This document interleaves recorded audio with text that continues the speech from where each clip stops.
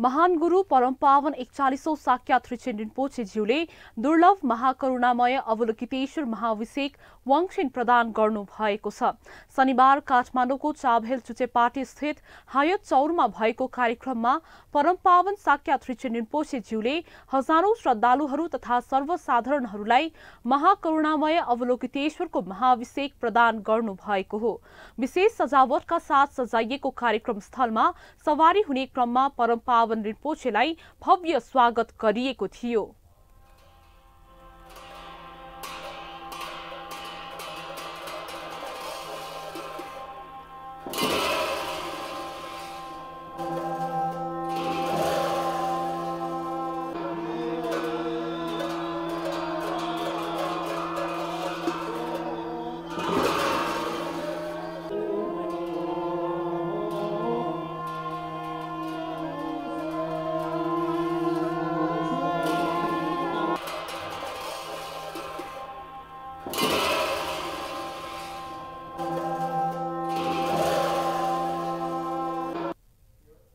महाकरुणामय अवलोकितेश्वर महाभिषेक कार्यक्रमका प्रमुख अतिथि संस्कृति पर्यटन तथा नागरिक उड्डयन मन्त्री सुदन किराती र विशेष अतिथिका रूपमा पाल्नुभएका कानिङ सेडुबलिङ महाविहारका शरणायक क्याब्जे छ्योकी निमा रिन्पोछे सहित परम पावन एकचालिसौं साक्या त्रिचे रिन्पोछे ज्यूबाट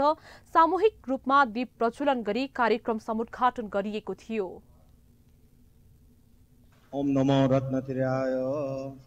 स्वस्ति कुरुतां बुद्धा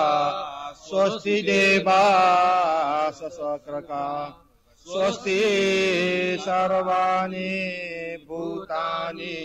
सर्वकालां दिशन्तु वा। बुद्धपुण्यानुभागेन देवतानां मतेन च यो यो अर्थ समिभिप्रेत सर्वजोज्य समृद्धताम् दीप प्रज्वलन कार्यक्रममा नेपाल मण्डलका परम्परागत वज्रयान परम्परा अनुसार गुरुजुहरूबाट सामूहिक रूपमा स्वती तथा मंगल पाठ वाचन गरिएको थियो। कार्यक्रममा संस्कृति पर्यटन तथा नागरिक उड्डयन मन्त्री सुदन किरातीले बुद्ध धर्ममा विश्व शान्तिको कामना गर्ने परम्परा धेरै पुरानो परम्परा रहेको बताउनुभयो। उहाँले विश्व शान्ति पूजाले विश्वमा शान्ति स्थापना गर्न नेपालमा धार्मिक सहिष्णुता कायम गर्न सहयोग पुग्ने बताउनुभयो। उहाँले भगवान गौतम बुद्धको पवित्र जन्मस्थल लुम्बिनीमा विश्व शान्ति पूजा गर्ने पुरानो प्रचलनलाई निरन्तरता दिएर नयाँ ढंगले विचारको प्रचार र स्थापित गर्न आवश्यक रहेको बताउनुभयो। विश्व शान्ति पूजाको विश्वास विस्तार भएर अहिले विभिन्न सत्कर्महरू पनि हुँदै गरेको म म आफूले अनुभूति गरेको छु। अहिले विश्व शान्ति पूजा विकाससँग पनि जोडिएको छ। किनभने विश्व शान्ति पूजा भनेको बौद्ध धर्ममा दान दिएर पुण्य कमाउने कर्म र पर्व पनि हो। समयले मान्छेलाई स्वार्थी मात्रै होइन।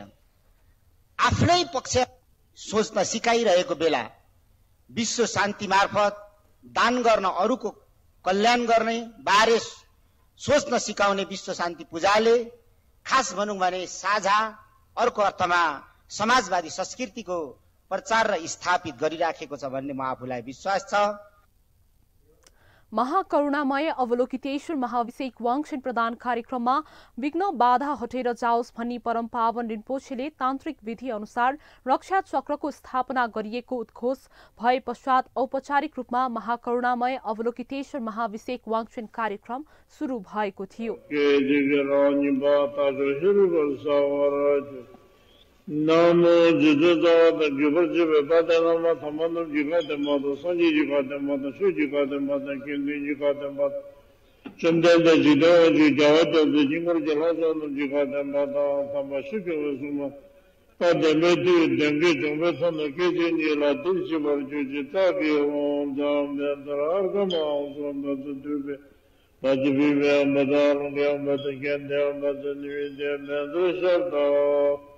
dāne sō tātā kata māyā bīśu māyā bīśā tātā kāyī kata sō parānā yī mā kāpa tā kāṅ gīrā tātā pārī dāyī sō परम पावन एकचालिसौँ साक्या त्रिचन रिम्पोछे ज्यूको चरणमा मण्डला अर्पण गर्ने क्रममा व्योम कुसुमा महाविहार विशालनगरका शरणायक परम पूज्य गुरूपाद विद्याधर आचार्य महायोगी श्रीधर राणा रिम्पोछेले रत्न मण्डल सहित ललितपुरको चौघर स्थित साढे अठार रोपनी जग्गा परम पावन एकचालिसौँ साक्या त्रिचन रिम्पोछेको पाउमा अर्पण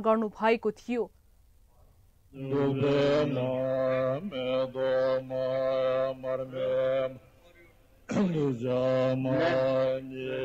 Manda Gumboje Randu Jole Navara Jale Jas Ladane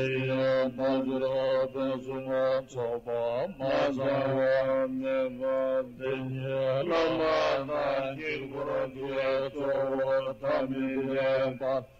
गर्नु भएको थियो सद्धर्मको मार्गमा र विशेष गरेर वज्रयानको द्रुत मार्गमा प्रवेश गराउन लाग्नु भएको छ त्यसबाट झन् अपार सत्वहितको ढोका खुलेको छ त्यसबाट अपरिमित प्राणीहरूको हित र सुख होस् र पछि पनि यो आर्यवर्त भूमिका सबै समग्र भूमण्डलमा भगवान बुद्धका अमूल्य उपदेशहरूको विस्तार भई सद्धर्म शासनको वृद्धि र पुष्टि हुँदै जाओस् भन्ने प्रणिधान सहित परम पावनका चरणमा यो रत्नमण्डल सहित कायवाक्षित अर्पण गरेको छु। श्रीमद गुरुचरणका सत्वहितका कार्यहरू उत्तरोत्तर वृद्धि हुनमा प्रतित्य समुत्पादको सपुन होस् र सद्धर्मको यस क्षेत्रमा पनि द्रुत गतिले विस्तार होस् भन्ने आशयले ललितपुरको चौघरे स्थित साढे अठार रोपनी भूमि पनि श्रीमद सद्गुरु चरणमा अर्पण गर्दछु। कार्यक्रममा कानिङ सिरुबलिङ महाविहारका शरणायक क्याब्जे छेउकी निमा रिम्पोछे व्योम कुसुमा महाविहार विशालनगरका शरणायक परम पूज्य गुरूपाद विद्याधर आचार्य महायोगी श्रीधर राणा रिम्पोछेले टुल्कु चोग्यो त्रिचेन रिम्पोछे लगायत विभिन्न गुम्बाबाट पाल्नुभएका रिम्पोछेहरू टुल्कुहरू खेम्पोहरू लामा गुरूहरू आनीहरू तथा श्रद्धावन उपासक उपासिकाहरूको बाक्लो उपस्थिति रहेको थियो भने संस्कृति पर्यटन तथा नागरिक उड्डयन मन्त्री सुदन किराती लुम्बिनी विकास कोष उपाध्यक्ष खेन्पो लहर सरकार लामा आयोजक व्योम कुसुमा महाविहारका संघ बन्धुहरूको उपस्थिति रहेको थियो।